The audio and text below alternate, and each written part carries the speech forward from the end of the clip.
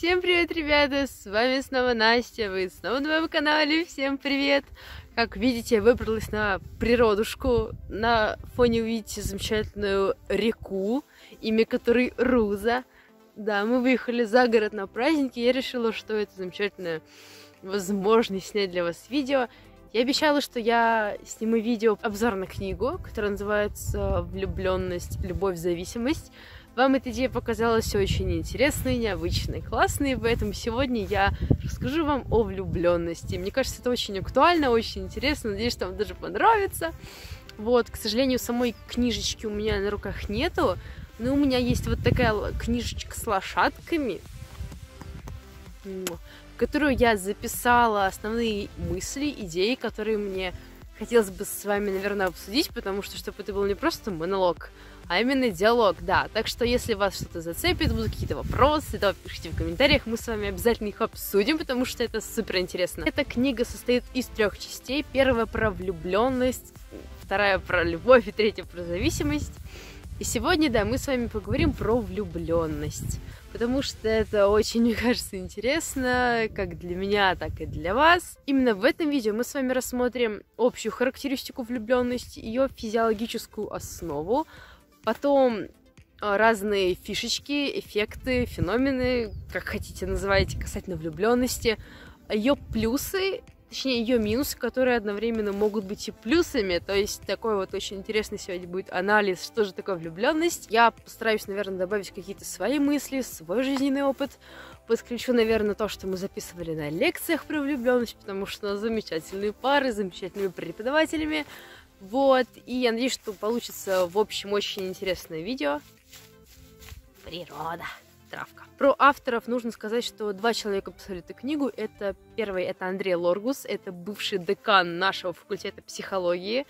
То есть очень интересно, что именно поэтому, кстати, я, наверное, и купила эту книгу, потому что я видела, хм, Лоргус, наш декан, фигню не напишет, надо брать. И второй человек — это психолог Ольга Красникова. Это психолог-консультант и преподаватель психологии. И вся эта книга, она основана на их жизненном, личном и профессиональном опыте. То есть это, возможно, такой, знаете, краткий конспект всех лекций, которые они читают. Вот, то есть это такая очень высокая концентрация опыта, который, мне кажется, будет интересно вам услышать. Так, все, мне кажется, я достаточно закинула удочку. Что же такое влюбленность? Можно давать много определений, но, наверное, к определению мы с вами подойдем попозже. И сейчас мы рассмотрим э, характеристики влюбленности, то есть то, что характерно людям, которые находятся в этом состоянии. И да, если вы не против, то я буду все-таки подглядывать, потому что я тут записала такой четкий конспектик, чтобы не сбиться с мысли и не растекаться водой по древу, как это красиво звучит. А, да, будем с вами четенько идти по пунктам. Первая такая очень важная характеристика влюбленности это потеря рационального рассуждения. То есть часто люди, которые влюблены, мы сами, думаю, это замечаем и на себе, и на других, они несут бред, делают глупости, просто разные нелепые вещи, и ты думаешь, блин, ну что, ненормально, что с ними так, а он просто влюблен. Вторая характеристика – идеализация предмета страсти. То есть, когда мы не видим ничего плохого в человеке вообще, только хорошее, он святой, просто в нем ничего плохого нету, ни пылинки, просто он идеален. Следующее – это эйфорическое возбуждение рядом с объектом страсти. Эйфория – это такое легкое, радостное состояние восторга, трепета и прям такого полного возбуждения всей твоей натуры. Я думаю, ну вы знаете это чувство. И оно постоянно и, возможно, только в присутствии предмета. Это, конечно, грубо звучит, но предмета, то есть человека. Следующее, это тоже, думаю, знакомо многим, это эмоциональная нестабильность, то бишь американские горки, то все прекрасно замечательно, то все ужасно, какой кошмар. Очень важный пункт – это искаженное восприятие себя, окружающего мира и других. Следующее это жажда обладания объектом, то есть нужно, чтобы постоянно он был со мной, он был моим, чтобы она ни на шаг не отходила от меня, постоянно была рядом, вот это вот нездоровая штука. Следующее, очень рядом находящееся с потребностью быть рядом, это стремление и желание к полному слиянию, то есть растворение всяческих границ абсолютно, и стремление соединиться с человеком полностью на всех э, трех уровнях душа, э, тело, дух.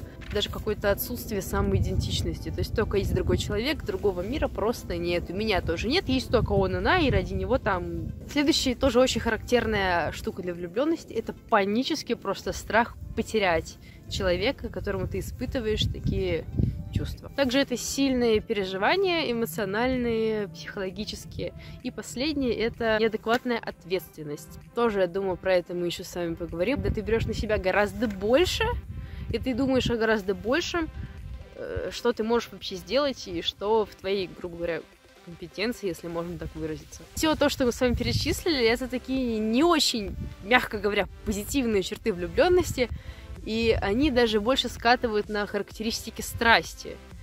И страсти не в том формате, что это такое яркое чувство, которое прям... А страсти как э, в, наверное, относительно грехов. То есть страсть — это что-то такое очень э, сложное, плохое, мрачное, что ведет к болезни души, к разрушению души. И судя по этим характеристикам, как бы это все симптомы страсти. Но влюбленность далеко не всегда является страстью. И влюбленность э, можно рассматривать как начальный период любви, который дает первый, наверное, такой импульс в общении между двумя людьми, и который позволяет им вообще сблизиться и в дальнейшем материально может привести к очень длительным, правильным, гармоничным отношениям. Но это возможно только если человек дает себе время в кавычках пережить влюбленность, а, осмыслить ее результаты, плоды, и только с таким грамотным, рассудительным подходом плоды влюбленности действительно могут быть очень э, огромными, очень хорошими и позитивными. Но про это мы тоже поговорим позже. Теперь давайте, как я уже заявила в начале, поговорим про физиологическую составляющую влюбленности. То есть это то, что происходит с организмом во время того, как мы влюблены. С организмом происходят огромные перестройки, в контексте именно физиологии можно сказать, что влюбленность это эффективное состояние, которое быстро насыщается и может также быстро угаснуть. Под эффективным состоянием мы понимаем такое состояние человека, когда он абсолютно нестабилен, он э, действует только на, основываясь на своих инстинктах и эмоциональных каких-то то, то эмоциях. То есть в состоянии аффекта люди могут делать разные вещи, абсолютно неадекватные, абсолютно странные. И влюбленность как раз является таким эффективным в какой-то степени состоянием. И меняется просто кардинально гормональный фон человека. Есть несколько гормонов, которые просто, когда ты находишься рядом с тем, в которого ты влюблен, просто бьют тебе в голову. И это такие гормоны, как дофамин, который вызывает именно такую эйфорию рядом с человеком, который тебе нравится. Также приливы энергии, вдохновение, желание постоянно быть рядом и делать глупости разные. Это все делает дофамин то бишь гормон удовольствия. Дальше у нас идет адреналин и норадреналин, которые в совокупности э, вызывают бессонницы, постоянный, опять же, подъем энергии, волнения, тревоги, и они являются виновниками того, что у вас могут дрожать руки или коленки. То есть, да, если вы рядом с человеком, которого, в которого вы влюблены, и у вас начинают потряхивать так нехило коленочки, это все адреналин виноват. Как бы знаете, кого винить. Следующий гормон это серотонин. Он тоже очень важен, потому что он как раз избыточную общительность вызывает. То есть это все его рук дело. И разговорчивость, и также любовь ко всему миру. Это тоже серотонин. И последний это эндорфины и эндозипины. Они вызывают чувство спокойствия и безмятежности только, внимание, только рядом с объектом вашей влюбленности. Еще существует такое мнение, что влюбленность это непроизвольное такое состояние, влечение, которое застает нас врасплох полностью. Но есть другая точка зрения, что влюбленность предопределена нашим бессознательным. То есть в нашем бессознательном состоянии существует множество различных неудовлетворенных потребностей, внутриличностных конфликтов и разный травматический опыт, который может подталкивать нас в реальной жизни к выбору тех отношений, которых мы сможем свои неудовлетворенные потребности, которые мы даже не знаем, потому что они в бессознательном, мы не сознаем это, вы как раз ощущаете отношения, мы можем их как-то реализовать эти потребности, которые у нас просто, мы их не понимаем головой, потому что они в бессознательном находятся у нас. И как раз именно в не, не влюбленном состоянии мы не можем проанализировать полностью наши бессознательные разные травматические опыты и разные неудовлетворенные потребности, которые у нас есть. А когда мы влюбляемся, это все вылезает наружу. И мы можем уже с этим работать. Это такой материал, который действительно очень ценен и может помочь в работе именно с самим собой. Это очень круто, на самом деле, действительно. И рассматривая потом, когда, допустим, у вас прошла, прошла эта вспышка влюбленности, можно рассмотреть, попытаться, как вы себя вели, как себя вел человек, какой, какой именно это был человек, почему вот он именно вас вас вызвал эту влюбленность. То есть это все не просто так. Можно найти очень много разных интересных зацепок, возможно, даже невротических. Про это пока не будем говорить. Вот. И это все можно анализировать и реально узнавать очень много интересного о себе самом в первую очередь. То есть в этом плане влюбленность как раз как такой материал. То есть он дает материал для анализа своей собственной личности. Также еще в как раз не влюбленном состоянии мы не можем так просто анализировать наше бессознательное, потому что у нашего хитрого, замечательного организма есть много защитных механизмов, которые стремятся максимально оградить нас от возможной боли, поэтому наш травматический опыт э, опускается все ниже, ниже, ниже, и его как-то достать очень тяжело, а влюбленность как раз помогает в этом смысле понять многие вещи о самом себе. Ученые часто говорят, что влюбленность это витальная реакция нашего организма на другого человека. То есть вита это как жизнь э, переводится, и влюбленность это некая потребность. То есть действительно у нас есть потребность влюбляться потому что она, эта влюбленность, дает нереально огромные потенциалы, много очень сил и энергии. Но помимо того, что она дает очень много сил и энергии, она и забирает тоже очень много всего и она лишает сил, и как раз за счет этого влюбленность, она как быстро насыщается, так и быстро угасает, потому что этот период не может длиться долго, просто потому что организм не выдерживает. Это огромное перенапряжение для него, это стресс, это, опять же, действие этих гормонов, просто организм устает, лишается сил, и как раз есть те вещи, которые свойственны влюбленности, и как раз они являются причиной потери сил. Это перепады настроения, часто бессонные ночи, отсутствие полное, полное, вот это точно, полное отсутствие чувства меры вообще. Дальше постоянная тревога и также часто перебои с питанием.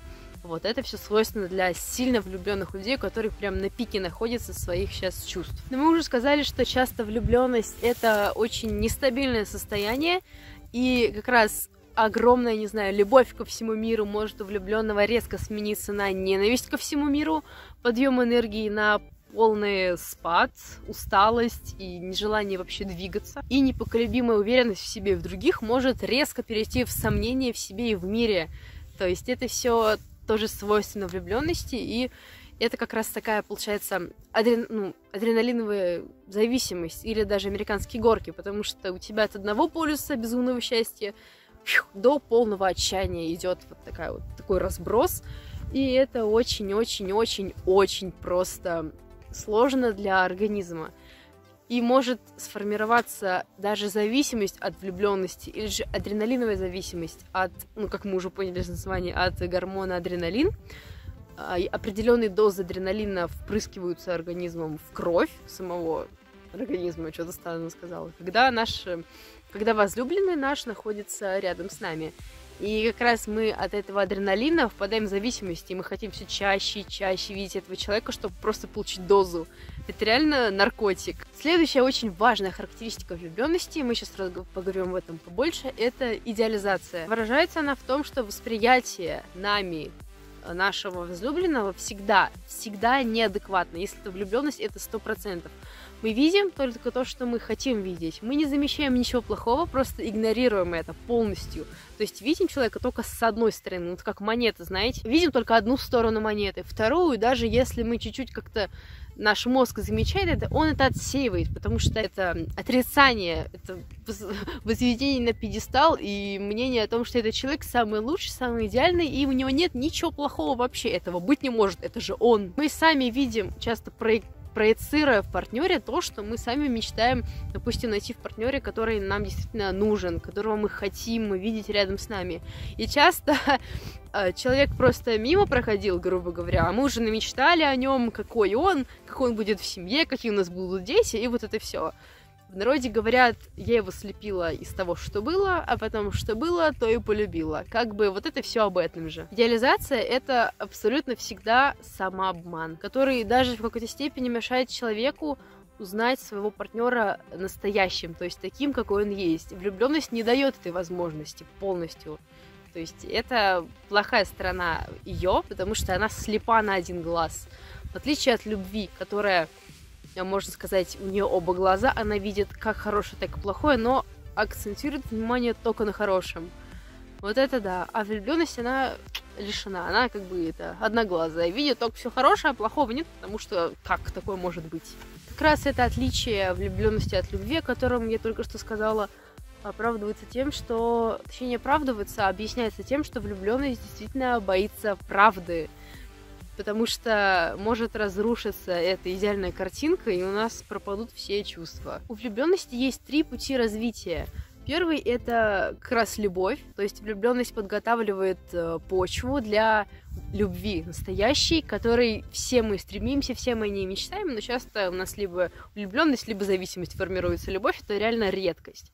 Вот, то есть первый путь развития влюбленности это ее перерастание медленное, постепенное в любовь. Второй это разочарование или опустошение, то есть когда мы понимаем, что вау, оказывается этот человек живой, у него, оказывается, есть минусы. Нет, нам это не подходит. Это разочарование. Третий путь, наверное, даже не знаю, самый ужасный, это формирование из влюбленности зависимости. То есть я уже говорила, что это полное растворение границ, и концентрация только на своем партнере и вообще полное отрицание себя. То есть мы жизненно нам необходимо присутствие нашего партнера. Это зависимость просто нереальная, ужасная. Просто это, это кошмар. Это нельзя. Следующая довольно интересная вещь, о которой я хотела бы вам рассказать касательно влюбленности, это две характеристики эмоциональная зависимость и фиксация на единственном человеке. И в связи с этим выделяют такой феномен, феномен туннельного сознания, или, проще говоря, это сужение психологического внимания. То есть, если мы, грубо говоря, в группе людей, и ты видишь двух человек, которые, или даже одного человека, который безумно влюблен, именно влюблен того, например, с кем он разговаривает, ты можешь стрелять из танков, ты можешь кричать, ты можешь делать около него что угодно. Он не увидит и не услышит, потому что он сейчас разговаривает со своим возлюбленным. Ему полностью все равно на то, что происходит вокруг. У него вот как раз это называется феномен туннельного сознания, потому что вот как туннель, ты видишь только человека. Вокруг там, чтобы это вообще никого не волнует, как бы серьезно. Можете проверить. Просто понаблюдайте за тем, как вот они общаются друг с другом, на именно их взгляды, потому что можно просто вот, вот так вот, а можно, ну, типа, лета поля, то есть без какого-то сильной концентрации. И это очень интересный момент, то есть феномен туннельного сознания. Характерен самой, наверное, пиковой стадии влюбленности. Но у этого феномена есть такой огромный минус, потому что он лишает здорового, нормального выбора партнера, потому что ты видишь только одного. Это фиксация на единственном человеке. У тебя вот туннельчик, и ты видишь вот только одного человека. А то, что там дофига разных классных э, партнеров, которые, может быть, даже хотят с тобой отношения, ты их просто не замечаешь, потому что, алло, у тебя туннель, один человек, все. Фиксация тоже вообще нехорошая штука, потому что она делает собственную жизнь, собственную, представляете, собственную жизнь даже человека, возможной только в присутствии возлюбленного. Это ненормально. То есть возлюблен, влюбленный будет постоянно стараться находиться рядом с человеком, которому он испытывает такие яркие, буквально болезненные даже какие-то эмоции. И тут очень интересная вещь, потому что тот партнер, который более склонен к зависимости, то есть к зависимым отношениям в будущем, он будет больше искать в партнере подтверждение того, что мы рядом, мы вместе, мы пара. То есть он будет постоянно требовать внимания, требовать подтверждения того, что вот отношений именно самих. Это тоже любопытно. Очень важно в себе, если вы замечаете такое, пресекать это, потому что это ни к чему хорошему вообще не приведет. И самое ужасное во влюбленности это то, что существование просто без человека представляет, представляется невозможным. То есть жизнь реально буквально зависит от того, позвонил ли тебе он сегодня, встретились ли вы сегодня. Это просто все настроение зависит только от этого.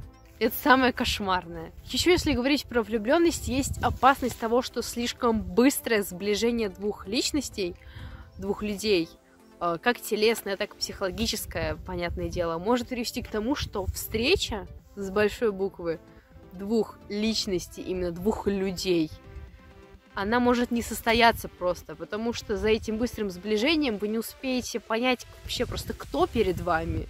Этот человек может ли быть с вами, у вас есть какие-то общие интересы. Если вы просто сразу так э, врежетесь, грубо говоря, друг в друга, не дадите себе время отдышаться, подумать, проанализировать, пространство какое-то себе было, чтобы сразу не склеиться просто плотный замок и не превратить это точнее, в зависимость, вам нужно время. Первое время все советуют после знакомства дать себе какое-то пространство и время отдышаться, подумать, прочувствовать, что вообще было, как вам, и основываться на своих собственных уже впечатлениях. Еще одна характеристика влюбленности это просто неконтролируемая сила, которая тянет себя постоянно к твоему возлюбленному. И тут есть такая сложная штука, потому что очень часто влюбленные люди оправдываются этим, то есть э, напортачили, сделали что-то не очень хорошее, и типа, да, это все была влюбленность, я же себя не контролировал, ну вот у меня был порыв страсти, я не виноват. Знаете, что это все лишь оправдание потому что это перекладывание ответственности. Но действительно стоит помнить, что влюбленность делает с человеком, поскольку это аффективное состояние, человек не в норме. То есть он сейчас не в обычном, не в спокойном состоянии и не может нормально действовать, исходя из действительно своих каких-то побуждений а только из страсти. Если говорить про неконтролиру... неконтролируемую силу влюбленности, э, можно подумать, что объект, то есть что источник э, того счастья, которое мы испытываем, той эйфории, находится где-то вовне. То есть, ну это логично, если мы влюблены в человека, то если есть человек, то есть и те прекрасные эмоции, которые мы испытываем, находясь рядом с ним. Но многие психологи, я в том числе, считаем, что... Я говорю, считаем, как будто я что-то же. Ну, я теоретически, я психолог, потому что я учусь на психологическом как бы. Многие психологи считают, что именно источник как раз любви, который человек испытывает, оно находится внутри.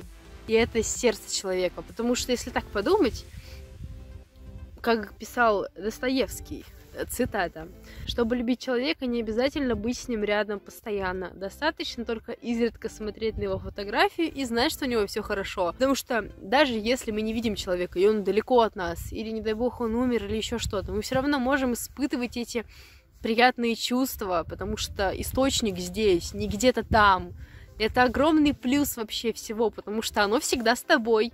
Вы можете уже перестать общаться с человеком или еще что-то, но любовь-то она всегда с тобой. Ты в любой момент можешь вспомнить это, достать это и прокрутить в голове какие-то воспоминания. Это будет невероятно приятно, полезно и понимание того, что все внутри. Ребят, у нас внутри с вами реально у каждого, у каждого микрокосмос или даже макрокосмос. Там такие просто глубины, которые мы сами часто за всю жизнь не успеваем и не можем просто понять, кто мы на самом деле. И это невероятно. У каждого там такой мир, честно. Меня это очень сильно поражает. Выделяет такой тип влюбленности, как влюбленность страсть. И у нее есть свои проявления, как внешние, так и внутренние. И давайте сейчас, наверное, с вами посмотрим внешние проявления влюбленности страсти. То есть это страсть, как мы поняли с вами уже из того, как мы говорили ранее, это что-то ужасное, плохое, что приводит к разрушению личности, души и ее болезни. Внешние черты влюбленности страсти – это увлеченность, одержимость человеком, возбуждение, энергичность, подвижность и восторженность. А внутренние, которые тоже, возможно, даже сильнее, чем внешние, это страх потери предмета любви, страх разочарования, что очень свойственно влюбленности, как мы сказали, потому что она правды боится, видите ли. Хрупкая такая, знаете, нет фундамента. Дальше влечение, ненасытная потребность в общении, слиянии и удовлетворении своих потребностей, своих, слышите, потребностей. Дальше мучительное ожидание, и мнительность и недоверие – и как только влюбленность, грубо говоря, добилась своего, произошло слияние либо на телесном плане, либо на душевном, то э, влюбленность, она уходит. Именно влюбленность страсть скорее. Потому что она получила, что хотела. Зачем? Она быстренько так спадает и ищет нового объекта, нового предмет для влюбленности, чтобы дальше испытывать эти прекрасные ощущения. А убегает как раз влюбленность быстренько, потому что впереди, если у вас уже какой-то контакт произошел, на каком-то из уровней, из которых состоит человек, я уже говорила, да, тело, душа, дух, то впереди виднеется перспектива э, ответственность, то есть э, длительных отношений, а это ответственность, принятие решений, изменение своей собственной жизни. Она боится этого очень-очень сильно и исчезает. Теперь нам осталось поговорить про разочарование и про плоды влюбленности, потому что разочарование, как и влюбленность, то бишь очарование, фактически это синонимы влюбленности и очарования, я считаю. Ну, в какой-то степени влюб... синоним... Син... Блин, синонимы. После влюбленности наступает разочарование, как один из путей, конечно, если она потом может либо перерасти в зависимость, не дай бог, или перерасти в любовь. Но сейчас мы поговорим про разочарование, как, наверное, самое частое, что происходит во влюбленности. Как раз, когда влюбленность в какой-то степени уменьшается, у нас про, я про разочарование формируется, опять же, раздвоение путей. Потому что желая, когда влюбленный желает продлить влюбленность, он требует от своего возлюбленного, сложно говорю, извините, много возлюбленного, влюбленного, вот это все. Он возлюбленный, точнее, влюбленный требует от возлюбленного подтверждения э, насто... ну, их отношений. Влюбленный требует, чтобы возлюбленный своим поведением э, разрушил какие-то проблемы, которые чувствуются, потому что ну, спад происходит, влюбленность угасает. Если возлюбленный не желает изменять свою жизнь и постоянно угождать э, человеку, которого в него влюблен, отношения идут на спад и происходит разочарование, опустошение и, собственно, все, грусть, утраты и всякое такое. А если возлюбленный все-таки хочет как-то попытаться, происходит формирование созависимых отношений. То есть это зависимость, потому что один человек требует что-то от другого, а другой, потакая ему, изменяет свою жизнь, свои привычки, просто все, лишь бы угодить ему. И получается уже это ненормально, потому что искренности в таких отношениях больше не будет никогда. Если говорить про первый вариант, про разочарование, оно переживается наиболее остро, если кроме эмоциональных и каких-то психологических ярких моментов в отношениях не было ничего более крепкого и фундаментального. Это значит, что разочарование будет проходить максимально остро. Люди абсолютно по-разному реагируют на разочарование. Некоторые даже просто отрицают влюбленность. Они говорят, что вот, да я в него и не была влюблена, типа вот он такой козел и бла-бла-бла. Но это не более чем психологический механизм защиты, то есть отрицание всего, что было, чтобы не травмировать лишний раз свое сердце, свою душу. Наш организм очень хорошо о нас заботится и старается как можно больше нас обезопасить. Разочарование разворачивает нам человека с абсолютно другой стороны. Если во время влюбленности мы видели все только позитивное, только прекрасное, только хорошее, то на разочаровании это все так... И ты теперь видишь исключительно все плохое. Все хорошее чаще всего забывается. И это огромный минус, потому что когда мы разочаровываемся в отношениях в нашей влюбленности, точнее в человеке, проще говоря, то мы забываем все хорошее, что было. И это неправильно, потому что нам нужно все-таки, чтобы два глаза видели и хорошее, и плохое. И концентрироваться только на хорошем. Даже если отношения уже кончились, это нормально. И это правильно, я вам скажу, это очень-очень хорошо. Но после разочарования возможно, еще два пути. да, сложная такая дорожка у влюбленности и ее перерастания, но вот такая штука. Первый, что разочарование приводит к осознанию того, что перед тобой живой человек, у него есть и слабые стороны, как такое может быть? И ты понимаешь, что есть и хорошее в этом человеке тоже. Если ты это осознаешь, то у тебя это все так хопа соединяется, и как раз это выводит отношения на качественно новый уровень. То есть это, опять же, зарождение любви. Второе — это завершение отношений, если как раз э, крушение идеала произошло слишком огромное, если он был слишком большой, этот идеал, он очень ужасно рассыпался, то как бы все, это завершение отношений. И последнее, самое такое, наверное, классное, о чем мы с вами поговорим, это плоды влюбленности, потому что сейчас мы поняли, что влюбленность это не очень хорошая штука, мягко говоря. Мы с вами поговорим сейчас о том, что нам приносит влюбленность. Большая заслуга влюбленности в том, что она открывает человеку огромный потенциал, который находится в нем самом. И часто человек может даже не догадываться, что в нем такая огромная сила, он даже не представляет, что он на такое способен. И когда человек влюбляется, очень часто даже самые застенчивые, робкие, стеснительные люди, просто с ними творится что-то вау, что. И они понимают, что они могут быть открытыми, очень э, настроены к общению даже с конкретным человеком. И это действительно очень сильно мотивирует, потому что потом ты понимаешь, что, блин, я могу таким быть. Действительно, это очень вызывает огромную энергию. Влюбленность каким-то образом открывает человеку окно в самого себя.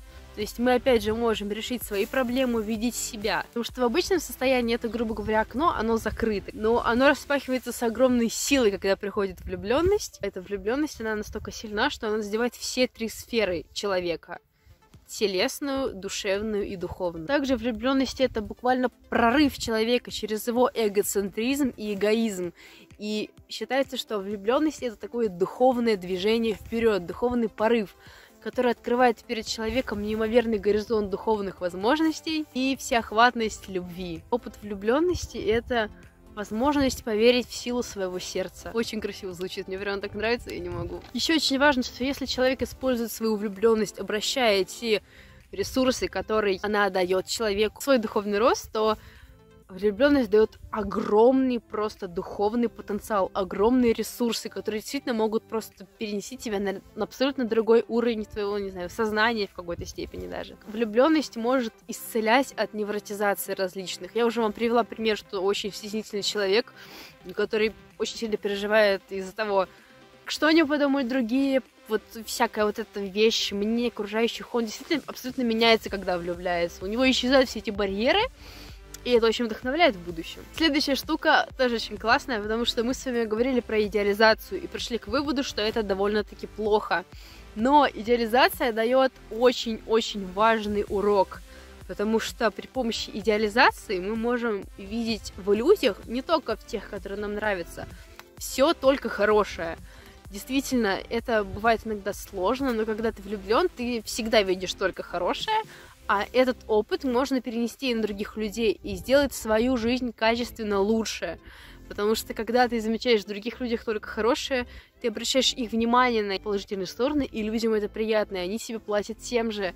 И это действительно очень-очень классно, потому что жизнь меняется реально. От того, как ты мыслишь, что ты говоришь, что ты делаешь. Жизнь и окружающие Абсолютно точно я вам говорю, ребят, это все очень сильно связано. Поэтому влюбленность нам дает идеализация опыт особого видения людей и нахождение в них только всего самого светлого, самого доброго, самого хорошего. Даже если вы знаете, что у людей есть какие-то, как у всех, блин, у всех есть какие-то плохие стороны, то этот особенный любящий взгляд, он смотрит поверх этого всего. И даже, вот опять же, как любовь, она зрячая, она не слепая, она видит и правым глазом, и левым. Очень важно позволять людям быть несовершенными, потому что мы несовершенны. Все, абсолютно, кроме Иисуса Христа, но это Бога-человек. Еще такой замечательный есть человек, митрополит Антоний Сурожский он тоже замечательно сказал, что когда мы любим, мы видим человека таким, каким он может быть перед Богом. То есть все то самое прекрасное, самое доброе, что есть в нем.